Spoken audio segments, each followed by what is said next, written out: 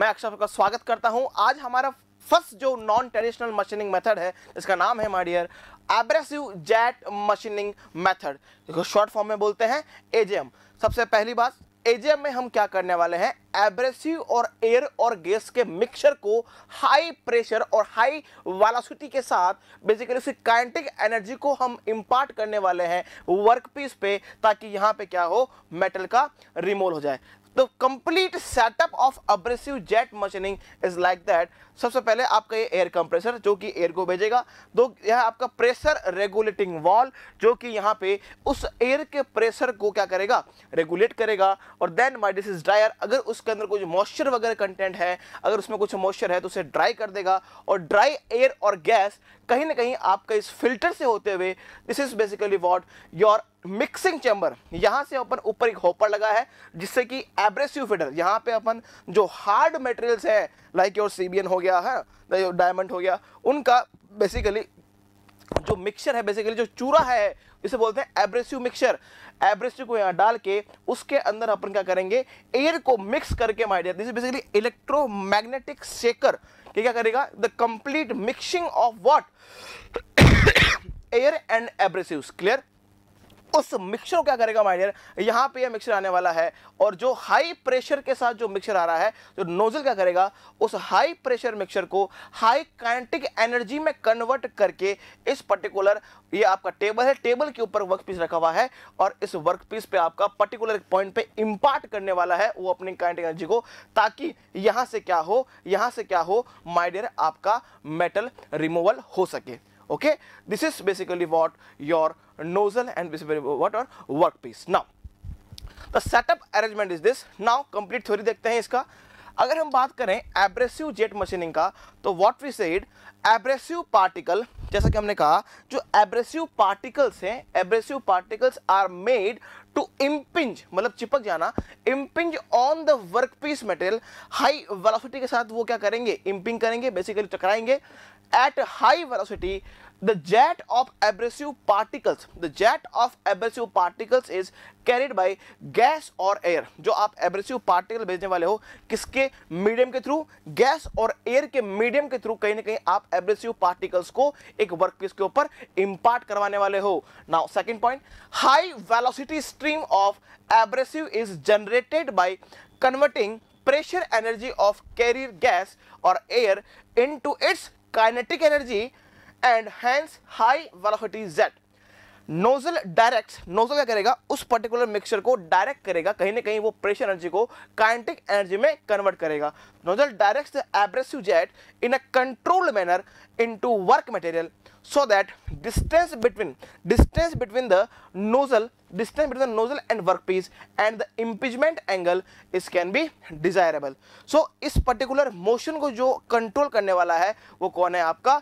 Nozzle. कहीं ना कहीं आपको नोजल और वर्कपीस के बीच में जो गैप है, उसको भी मेंटेन रखना होगा। कहीं ना कहीं आपके जो एंगल एंगल है बेसिकली नोजल और आपके वर्कपीस का, वो भी मेंटेन रखना होगा ताकि ज़्यादा से ज़्यादा आपका जो एनर्जी है, काइनेटिक एनर्जी है, वो कहीं ना कहीं वर्क पीस पे इम्पार्ट हो सके और वहाँ पे मेटल का रिमूवल हो सके। High velocity abrasive particle. जो आपने हाई वेलोसिटी एब्रेसिव पार्टिकल रखे हैं this remove the material these are basically what remove the material by micro cutting action as well as brittle fracture of work metal इस particular method से आप my dear brittle metal को भी कहीं ना कहीं आप मशीनिंग कर पाएँगे बिकॉज़ हाई जो बेसिकली एंड एनर्जी है, वो कहीं ना कहीं आपकी वर्क पीस पे इम्पार्ट हो रही है। हाँ और कहीं ना कहीं एक पॉइंट पे इम्पार्ट हो रही है है कि नहीं? तो हम कह सकते हैं इससे हम बिटर मेटल का भी हम आराम से माइक्रो कटिंग कर सकते हैं। So this is basically theory of your process basically process of your abrasive jet machining process now अगर हम बात करें कुछ इसमें पैरामीटर्स uh, का कि क्या क्या इसमें पैरामीटर्स हम देखते हैं तो देखिए अगर हम प्रोसेस पैरामीटर की बात करें तो ये आपका था नोजल इज़ इट क्लियर और this is basically what your workpiece जो नोजल और वर्कपीस में बीच जो गैप है बेसिकली वो इसे बोलते हैं अपन stand off distance it is basically called stand off distance. The gap between nozzle and workpiece is called stand off distance.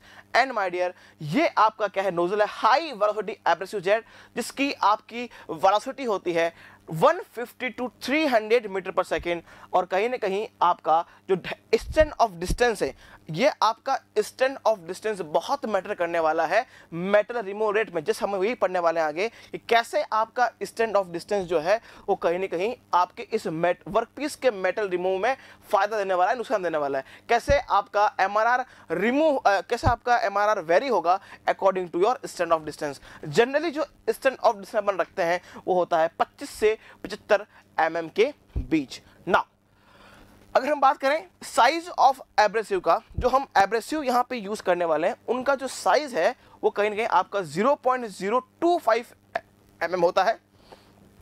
Mass flow rate is equal to two to 20 gram per minute okay velocity जैसे मैंने बताया अभी 150 to 300 metre per second and pressure is 2 to 10 atmospheric pressure nozzle की बात करते हैं तो nozzle किन किन मेटेरियल से बना होता है? अगर हम नोजल की बात करें तो basically made up of two types of basically two metal से बना होता है। First one is tungsten carbide second one is sapphire nozzle sapphire मतलब जो, जिस बेसिकली आप जो अगर रत्न वगैरह पहनते हैं, अपने अंगूठी वगैरह में, जो जो बेसिकली वो वो जो आपका मेटल है, उसे कहते हैं अपन सफायर वो सफायर से बने होते हैं। They're hard metals basically now tungsten carbide and sapphire SiC abrasive. This is basically what Al2O3 and WC clear? मतलब क्या हो गया? हार्डनेस ऑफ़ जो सैफायर है, वो ज़्यादा होती है hardness of basic tungsten carbide से। नाउ लाइफ ऑफ़ नोजल हमेशा ज़्यादा होनी चाहिए। कहीं ना कहीं इसलिए आप हार्ड मेटल का बनाते हैं। Life of nozzle varies between 12 से 300 घंटे। नोजल टिप डिस्टेंस जो है कहीं ना कहीं जो आपका स्टैंड ऑफ़ डिस्टेंस है, इसे अपन नोजल टिप डिस्टेंस भी बोलते हैं हमारे। दोनों ही नाम है इसके। एक नाम नहीं, दो नाम है। एक तो नाम है आपका स्टेनो डिस्टेंस बोल दे, या ये बोल दे नोजल टिप डिस्टेंस दोनों का ही बात सेम है। It is just a distance between what nozzle and your nozzle tip and your workpiece clear तो जो जनरली हम जो नोजल टिप डिस्टेंस रखते हैं माय डियर इसे ही बोलते हैं अपन स्टैंड ऑफ़ डिस्टेंस ये होता है पॉइंट पच्चीस से point seventy five M M now generally जो हम एब्रेसिव इसमें यूज़ करते हैं, जो एब्रेसिव यूज़ करने वाले हैं, जिसका जो साइज़ है, वो point zero two five M mm तक है, वो कौन कौन से हार्ड मेटल कौन कौन से my dear aluminium oxide L two three silicon carbide crushed glass glass का टुकड़े करके and sodium bicarbonate they are basically abrasive this are use in what AGM process abrasive jet machining process so my dear these are what called process parameters of abrasive jet machining हमने देखा कि what is the stand off distance कितना होता है size of abrasive क्या क्या है, ये एग्ज़ाम्स में कभी कभी जनरली क्वेश्चंस एग्ज़ाम में पुट अप कर ले जाते हैं।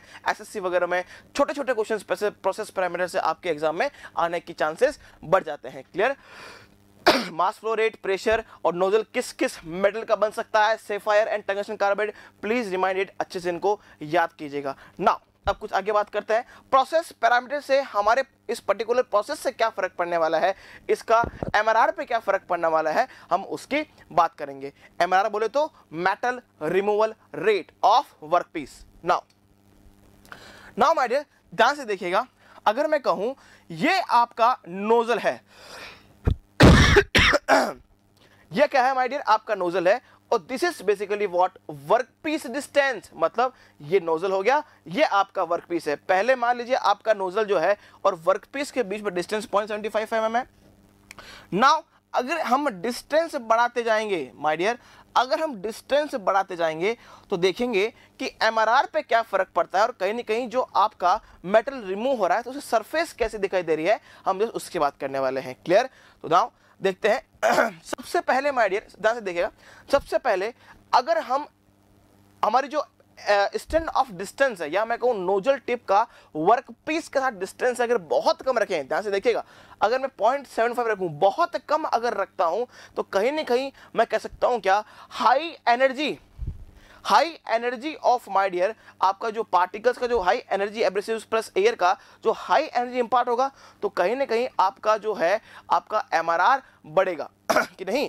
मतलब जैसे जैसे हम आपका डिस्टेंस बढ़ा रहे हैं, मान लीजिए point seventy five point five तो इसकी वजह से क्या हो रहा है, कहीं ना कहीं आपका एमआरआर क्या हो रहा है माइडियर बढ़ रहा है। लेकिन, क्योंकि आपकी जो हाई एनर्जी इम्पार्ट हो रही है कहीं ना कहीं उस पर्टिकुलर वर्क पीस पे। लेकिन माय डियर जैसे जैसे हम डिस्टेंस को बढ़ाते रहेंगे, ध्यान समझिएगा, जैसे जैसे हम डिस्टेंस को बढ़ाते रहेंगे, वैसे वैसे ही माय डियर इस नोजल टिप और वर्क पीस के बीच में एयर का डिस्टेंस बढ़ता रहेगा। इज़ इट क्लियर मतलब जैसे जैसे अपन यहाँ पे डिस्टेंस बढ़ाते रहेंगे, भाई पहले बहुत कम डिस्टेंस पे आपका एमआरआर इंक्रीज हो रहा था। मतलब क्यों? क्योंकि वहाँ पे एयर का डिस्टेंस क्या था? कम था। मतलब जितनी काइनेटिक एनर्जी बेसिकली इस एब्रेसिव प्लस एयर पार्टिकल्स में थी, वो पूरी की पूरी ही एनर्जी लगभग पूरी की पूरी एनर्जी कहाँ इंपार्ट हो गई? वर्क पीस पे। क्योंकि ये बिल्कुल पास में थे। यहाँ पे एयर का डिस्टेंस क्या था माइडियर बहुत कम था। तो जैसे जैसे कहीं ना कहीं आप एक पर्टिकुलर लिमिट तक पहुँचेंगे, मान लो पाँच एम तक पहुँचे, तब तक आपका जो है आपका एम बढ़ रहा है। लेकिन अगर आपने डिस्टेंस को और बढ़ाया, अगर आपने माइंड डिस्टेंस को और बढ़ाया, जिससे क्या होगा?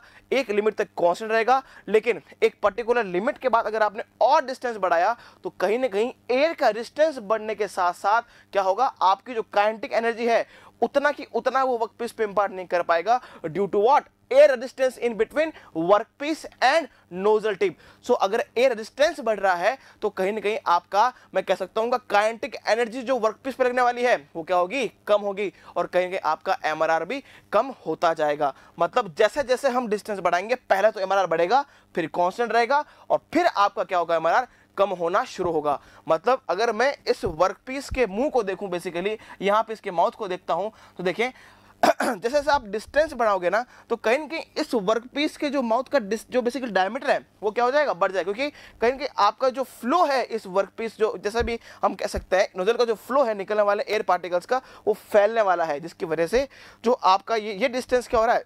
कहीं ना कहीं धीरे धीरे बढ़ता जा रहा है। लेकिन अगर आप कहेंगे एमआरआर रेट तो क्या होगा? पहले ज़्यादा होगा, फिर कांस्टेंट होगा, और कहीं ना कहीं कुछ देर बाद एयर डिस्टेंस बढ़ने के साथ साथ आपका एमआरआर कम होता रहेगा। This is the tendency my dear अगर हम ग्राफ खींचे एमआरआर और नोजल टिप डिस्टेंस के बीच में तो आप कहीं ना कहीं देख सकते हो माय डियर कि माय डियर देखो देखो नोजल डिस्टेंस पहले धीरे बढ़ रहा है तो आपका एमआरआर बढ़ रहा है, क्योंकि इन दिस पर्टिकुलर कंडीशन आपका एयर रेजिस्टेंस क्या है? कम है। एयर रेजिस्टेंस अगर कम है तो कहीं ना कहीं जितने जितनी एनर्जी आपके पास है, इतनी एनर्जी वर्क बेसिकली एयर और इसमें जो एयर पार्ट एब्रेसिव पार्टी इनके पास है वो पूरी की पूरी ही एनर्जी क्या हो रही है? उस वर्क पीस पे इम्पार्ट हो रही है। मान लीजिए कुछ बहुत कम यहाँ पे रेजिस्टेंस आता है लेकिन धीरे धीरे अगर आप नोजल टिप डिस्टेंस बढ़ाएँगे तो कहीं ना कहीं आपका आ, जो नोजल डिस्टेंस क्या तो या फिर स्टैंड ऑफ़ डिस्टेंस कह सकते हैं एसओडी भी से कह सकते हैं अपन स्टैंड ऑफ़ डिस्टेंस बढ़ाएँगे वैसे वैसे ही आपका एमआरआर क्या हो रहा है माय डियर कम हो रहा है। तो इस बात का ध्यान रखना है विशेष कि जैसे जैसे आप know basically stand off distance बढ़ाते हैं, वैसे वैसे ही क्या होगा, आपका एमआरआर क्या होने वाला है?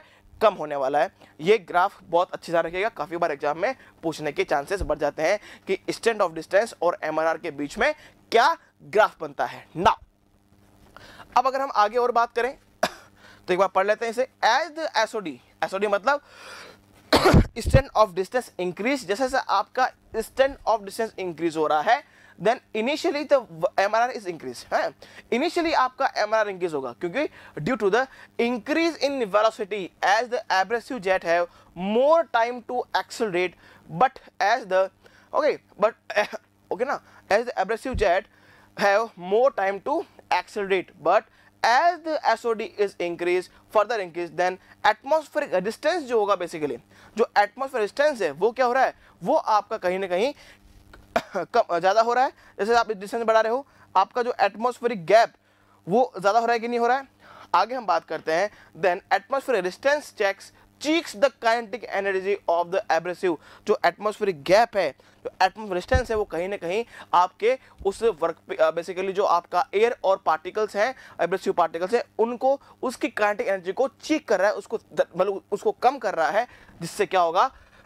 And hence even though kinetic energy increases then atmosphere resistance decreases the energy upon impact and for certain gap the MRR remains constant therefore further increase in SOD results in lower in MRR as the air resistance start dominating the kinetic energy of abrasives. This is basically the theory of what uh, what we can say अगर हम M को और देखें stand distance तो कैसे behaviour show करता है it is just example of this now अगर हम बात करें, कुछ और अगर हम ग्राफ ग्राफ की बात करते हैं माइडियर अगर हम कुछ और ग्राफ की बात करते हैं तो देखें अगर हम एमआरआर और एब्रेसिव फ्लो रेट के बीच में ग्राफ देखें okay if I talk about MRR and abrasive flow rate तो हम ये देख पाएँगे कि जैसे जैसे आप कहीं ना कहीं एब्रेसिव फ्लो रेट बढ़ाते हो, वैसे वैसे ही आपका एम बढ़ने लगता है। लेकिन एक पर्टिकुलर लिमिट के बाद माइडे एक पर्टिकुलर लिमिट के बाद अगर आप एब्रेसिव का फ्लो रेट और बढ़ाओगे तो कहीं ना कहीं एब्रेसिव एब्रेसिव के बीच टकराना शुरू हो जाएगी, है नहीं?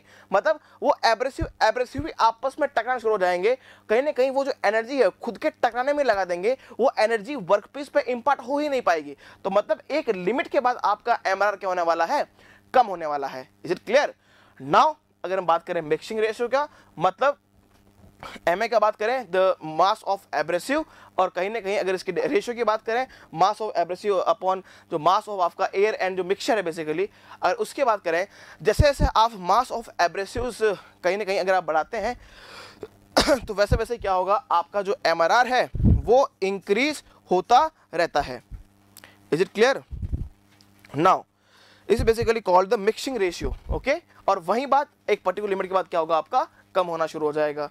और ये एस के साथ देखा हमने एमआरआर और एसओडी हमने देखा ही है कि जैसे जैसे आप एसओडी बढ़ाएँगे स्टैंड ऑफ़ डिस्टेंस बढ़ाएँगे एमआरआर पहले तो बढ़ेगा, फिर कांस्टेंट रहेगा और फिर क्या होगा माइडियर आपका डिक्रीज हो जाएगा। क्लियर और एयर प्रेशर की बात करें, जितना ज़्यादा एयर प्रेशर लगाएँगे, उतना ही आपका एमआरआर बढ़ता रहेगा। तो ये कुछ ग्राफ्स हैं माय डियर जो कहीं ना कहीं आपके एग्ज़ाम में पूछने के चांसेस हैं। कोई भी ग्राफ पूछ लेगा और पूछेगा एजीएम मशीन के लिए कौन सा सही है? तो आपको पता होना चाहिए कि which one is correct for AGM now now my dear अगर हम कुछ एक एक दो फार्मूलाज की बात करें, जो डेरिवेटिव फार्मूलाज हैं डेरिवेशन निकल जाते हैं, बस आपको थोड़ा सा इस बात का ध्यान रखना है कि जो एमआरआर ऑफ़ ब्रिटल मटेरियल्स हैं, हमने कहा था कि इस पर्टिकुलर एजीएम प्रोसेस से आप ब्रिटल और डक्टाइल दोनों का ही आप मशीनिंग कर पाएँगे मेटल रिमूव कर पाएँगे। तो अगर हम बात करें एमआरआर ऑफ़ ब्रिटल मेटल का तो उसका जो फॉर्मूला आता है, वो आता है एम ए वी की पावर थ्री बाई टू रोजी की power one by four and H की पावर थ्री बाई फोर हमें डेरिवेटिव जाने ज़रूरत नहीं है, हमें बस फॉर्मूला ध्यान रखना है। फॉर्मूले से ही कहीं कहीं क्वेश्चन आपके पुटअप होंगे एग्ज़ाम में। तो नाउ रोज बेसिकली वॉट रोजी इस डेंसिटी ऑफ़ ग्रिड्स जो भी आपने एब्रेसिव काम लिए हैं, उसका डेंसिटी रोजी वी है आपका वेलोसिटी ऑफ़ इंपैक्ट कि भाई आपका वेलोसिटी क्या है इंपैक्ट का? एच है hardness of workpiece and my dear M है mass of the workpiece clear ये है आपका M R R of what brittle material और अगर मैं बात करूँ M R R of ductile material का, उसका फॉर्मूला होता है one by two M A V square by H अब एग्ज़ाम में कुछ पूछ सकता है कि भाई M R R of abrasive jet machining of bitter material is directly proportional to v की power three by two V की पावर टू वी की पावर वन बाई टू चार ऑप्शन देगा। यू हैव टू फाइंड कि कौन सा option जो है आपका करेक्ट है। तो अगर बिटर मटेरियल दिया है तो M R R of brittle material अगर हम बात करेंगे एप्रेसिव जेट मशीनिंग का is directly proportional to V की पावर थ्री बाई टू वहीं अगर हम बात करें M R R of ductile material का तो उसका कितना होगा? वी की पावर टू ये सब आपको थोड़ा सा रिलेशन है, आपको ध्यान रखना है। और ये भी ध्यान रखना है कि यहाँ पे रो क्या है?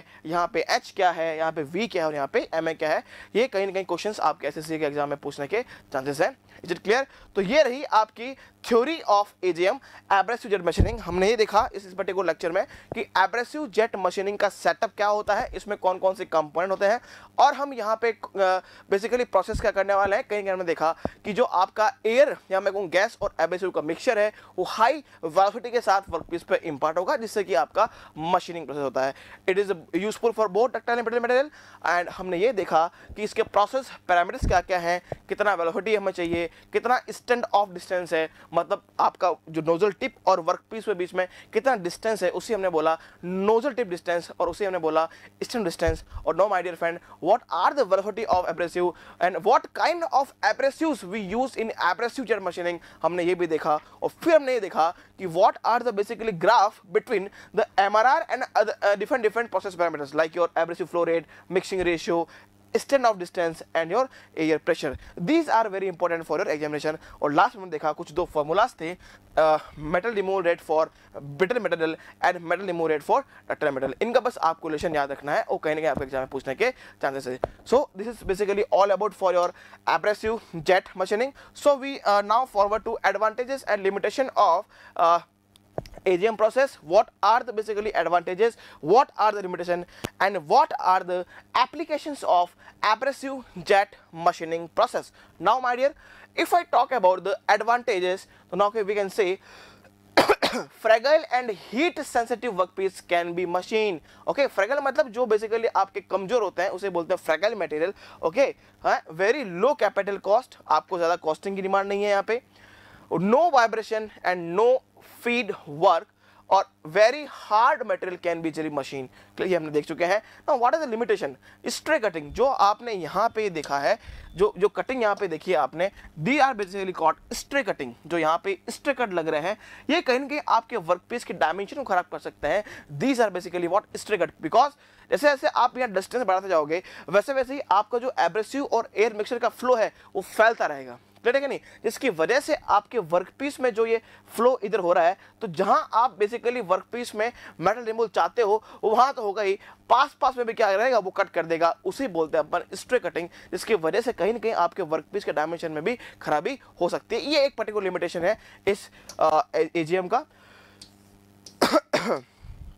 नाउ माय डियर हम देखते हैं कि what are the application okay low M R taper cut और हम देखते हैं, अगर हम बात करें कि एप्लीकेशन क्या है यहाँ पे what are the application of abrasive jet machining intricate hole very good fragile brittle materials can be machined from AGM process is very important application brittle materials are uh, uh, can also be machined by what AGM process cleaning polishing and deburring micro machining भी हम इससे आराम से कर सकते हैं with uh, varying your air pressure you can uh, vary with your application clear now so this is all about for your abrasive jet machining process you can take screenshot just I send screenshot please click the screenshot of uh, abrasive jet machining this is the working. How the AGM process works. This is the process parameters. This is a diagram and this is process parameters one by one. Please take SS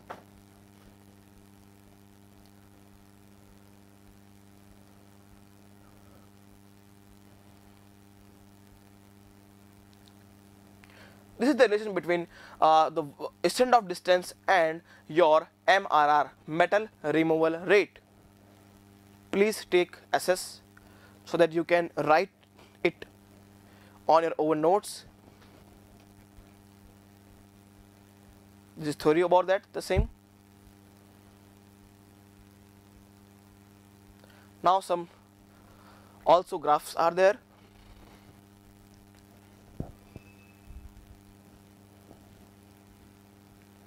These are the advantages, limitations and application of AGM process. So my dear, in our next uh, lecture, we are consider the next NTMM process. This is ultrasonic machining process. इसे हम प्यार से बोलते हैं USM process. We will discuss in next lecture. Thank you so much guys. जय Hind. If you really like the video, hit the like button, share the video, comment on our video and subscribe to our YouTube channel and press the bell icon for the latest updates. Thank you.